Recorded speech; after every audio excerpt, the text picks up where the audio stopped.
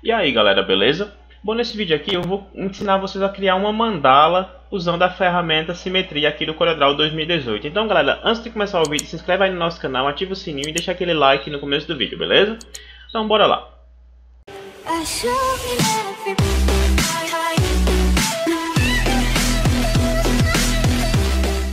Bom, primeiramente a gente vai criar o nosso objeto. Vou pegar a ferramenta Elipse Vou segurar o Ctrl, vou clicar e segurar e arrastar para criar uma elipse perfeita. Voltei na ferramenta Seleção e vou apertar Ctrl C, Ctrl V para duplicar essa forma. Vou segurar o Ctrl novamente e vou arrastar essa forma aqui para o lado. Após isso, venho aqui nessa ferramenta Preenchimento Inteligente. É a última ferramenta. Vou clicar nela.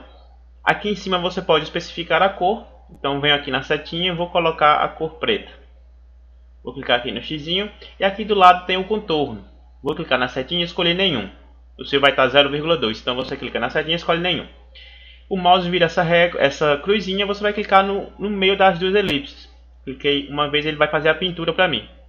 Peguei a ferramenta seleção, cliquei na elipse, arrastei para o lado e apertei delete do meu teclado. Vou fazer isso no outro lado também, deletei. Vou dar um zoom com a bolinha do mouse para cima e temos aqui essa forma. Selecionando a forma, vou apertar a tecla mais do meu teclado ou você também pode apertar Ctrl C, Ctrl V. É o mesmo efeito. Vou pintar ela aqui de uma cor aleatória, pintar de dessa cor azul. Vou segurar o Shift, vou clicar nas extremidades, segurando o Shift fica essa cruzinha aqui. Ó. Então eu posso clicar e arrastar para diminuir essa, essa forma. Temos aqui. Você pode deixar ela vazada, né? Fica um efeito mais legal também. Mas a forma que eu vou fazer aqui, eu vou fazer o seguinte. Peguei a ferramenta de seleção, vou clicar e selecionar aqui os dois. Aparece essas opções aqui em cima. E aqui eu vou clicar em aparar. Ele vai aparar isso aqui para mim. Ó. Cliquei aqui fora. Cliquei na cor azul, arrastei para o lado. E temos aqui essa forma preta, com fundo vazado. Vou apertar Delete nessa cor colorida aqui. Ó. Vai ficar só essa forma aqui. Aqui eu vou apertar, vou apertar Ctrl C, Ctrl V novamente para duplicar isso aqui. Vou segurar o Shift, vou clicar nas extremidades e diminuir ela na proporção. Vai ficar dessa forma. Vou apertar a tecla mais novamente para duplicar ou você aperta Ctrl C, Ctrl V, tá? É a mesma coisa. Vou clicar aqui, ó, sem segurar o Shift, vou clicar nesse nó e arrastar aqui para baixo. Bem aqui. Esse aqui de cima eu vou arrastar aqui para cima. Arrastar mais um pouco para cima até conectar aqui em cima. Vou pegar a ferramenta elipse e vou criar uma elipse aqui no centro apertando o CTRL, deixo o CTRL pressionado e clico uma elipse e crio uma elipse perfeita. Soltei o CTRL, posso clicar nas extremidades aqui e aumentar ela um pouco mais, ela não perde mais a proporção dela. Só que ela está muito é, fininha.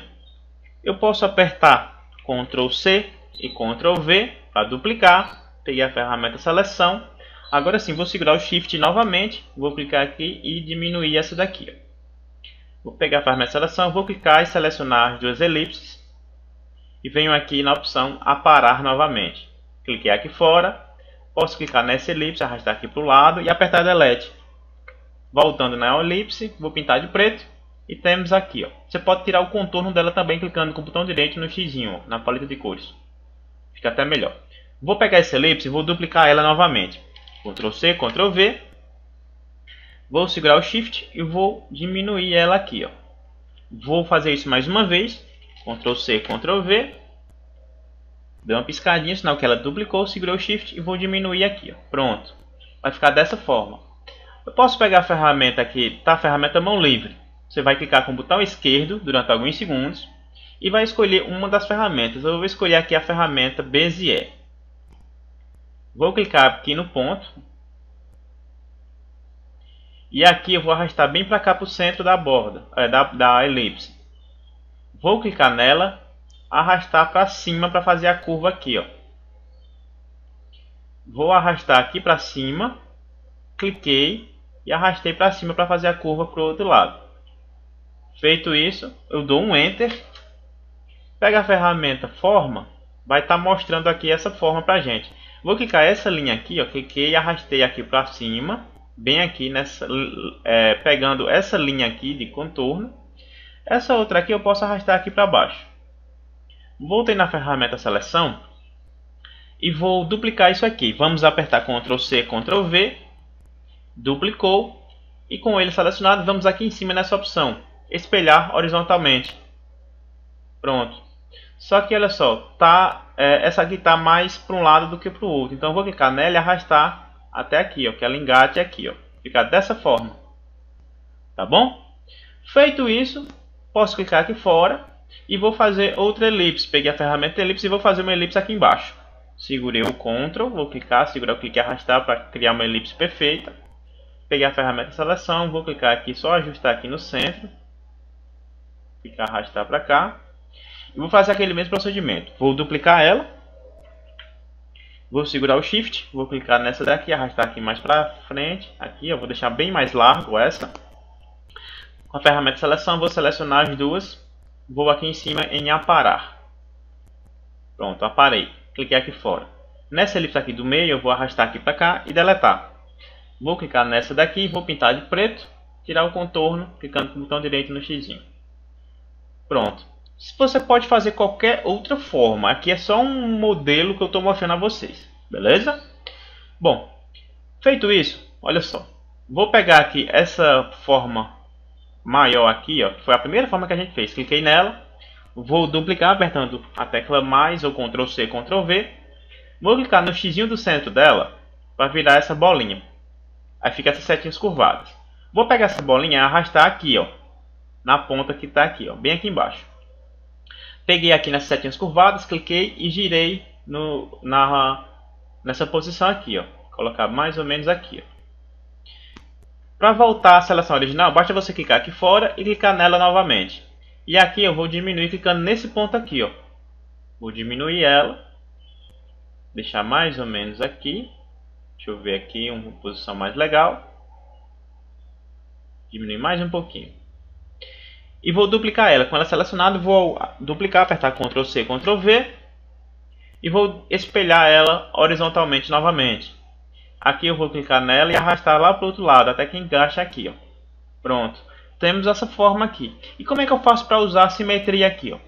Vou clicar nela com a ferramenta de seleção e arrastar para selecionar tudo isso aqui. Vou clicar com o botão direito em cima e vou agrupar. Agora novamente vou clicar com o botão direito e vamos criar nova simetria. Lembrando, galera, que esse efeito só dá certo no CorelDRAW 2018. Se você tem a versão anterior e quer atualizar, é só deixar nos comentários que eu vou estar passando o link para vocês, tá bom? Do, do, do arquivo do programa CorelDRAW 2018. Então vou clicar aqui em criar nova simetria. Vai vir para cá, dessa forma. E aqui em cima tem essas opções. A primeira opção é mostrar a visualização completa. Se eu deixar desmarcado ela, ela vai deixar só o aramado da forma que a gente criou. Mas eu vou deixar marcado mesmo, eu quero visualizar. Temos essa linha aqui, ó, essas pontilhadas. Eu posso clicar nela, passando o mouse vira essa setinha dupla. Então, está em cima dela, vou clicar e arrastar um pouco mais para o lado. Vou deixar mais ou menos aqui, ó. Só arrastar um pouco mais para dentro. Acho que está legal dessa forma. Aqui eu posso deixar marcado as linhas, que é esse tracejado ali. Ó. Se eu deixar desmarcado, ela some. Só que eu gosto de deixar para a gente ter uma noção do que está sendo feito. Aqui do lado é a quantidade de espelhamento que você tem. Aqui está um, está só uma aqui. Ó. Aqui do lado, na frente, tem é, o ângulo de rotação. Você pode mudar o ângulo, colocar na, na opção que você quiser. Mas eu vou deixar em 90 graus mesmo. E para modificar, para começar a simetria, é só clicar aqui, ó, na setinha que tem o 1, clicar aqui para cima, e ele vai fazer a simetria para baixo. Tá bom? Clicando mais uma vez, temos a simetria. E olha só, vai clicando e aumentando a simetria. E aí você vai brincando com sua criatividade. Se eu diminuir aqui, tá aqui. E olha só uma coisa bem interessante. Se eu passar o mouse aqui nessas linhas aqui, ó, posso clicar nela e arrastar aqui para baixo. E ele vai separar isso aqui, ó cliquei no x aqui, arrastei um pouco mais para baixo e vai separando. Se eu clicar pra, nessa cruzinha aqui e arrastar para cima, ele vai juntar todas as formas. Aí ele junta e depois ele vai jogando para fora, vai invertendo a imagem. Tá? Então vou clicar aqui mais para cá. Eu posso deixar marcar dessa forma? Posso, mas eu quero deixar do jeito que estava. Então, olha só, cliquei, arrastei para fora. Acho que tá legal. Eu posso aumentar mais uma vez? Posso. Aqui tá 5 linhas espelhadas. Então, posso aumentar mais 6, 7 e 8. Aqui você pode aumentar até 12. É o máximo que você consegue espelhar as linhas. Tá? vou deixar aqui em 8 mesmo. Já está um efeito bem legal. Se eu der um zoom. E para finalizar isso aqui, o mouse, quando você passa em cima da, do objeto, tirar o zoom aqui para você ver, ó, aparece essa opção. Aqui tem finalizar a edição de simetria. Vai sumir todas essas linhas guias aqui e você tem um objeto pronto para você aumentar ele na proporção que você quiser. Vou só arrastar aqui para o lado. Olha só, temos aqui uma mandala. Bem rápido, bem fácil. Deixa eu só olhar quanto tempo está de vídeo aula, galera. Bom, caso você queira modificar a simetria, passando aqui o mouse embaixo, com o objeto selecionado, aparecem essas três opções. Ela pode aparecer aqui, pode aparecer lá em cima, dependendo do ângulo que está o seu CorelDRAW. Você pode editar a simetria. Clicando aqui, você pode editar novamente. E para finalizar, basta clicar aqui e finalizar a edição da simetria. Aqui temos essa opção aqui de dividir o link da simetria e tem esse aqui que você vai remover a simetria. Ele vai voltar todos esses objetos no, em um só. Olha só, vou clicar nele aqui. Esse aqui tem um x vermelho. E ele vai voltar somente uma imagem, a imagem que a gente fez. Vou apertar Ctrl Z para voltar a ação. E eu posso clicar aqui fora, que é isso que eu quero. Então, galera, você pode brincar com sua criatividade e aí fazer suas mandalas utilizando a ferramenta Simetria aqui do CorelDRAW 2018. Então galera, esse foi o vídeo, espero que vocês tenham gostado, curtam os vídeos, comentem, se inscrevam em nosso canal, isso ajuda pra caramba, valeu?